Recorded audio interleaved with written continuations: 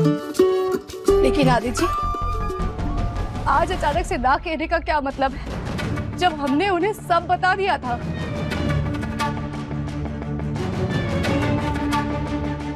लक्ष्य और रोहन जी की आपस में बात भी कराई थी। कुछ छिपाया नहीं है उनसे। मैं तो बहुत खुश हूँ कि आपने मुझे इतने बड़े धोखे से बचा लिया। वरना वरना एक ऐसे इंसान के साथ मुझे अपनी ज़िंदगी बितानी पड़ती जो जो कायर और डरपोक है, जिसमें इतनी भी हिम्मत नहीं है कि वो सामने आकर ना कहे या वजह बताए। क्योंकि फिर सबको पता चल जाता ना कि उसकी तो रीढ़ की हड्डी है ही नहीं।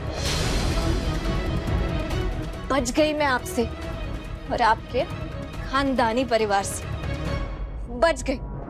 मंगल लक्ष्मी, हर रोज रात 9 बजे, कलर्स और जियो सिनेमा पर।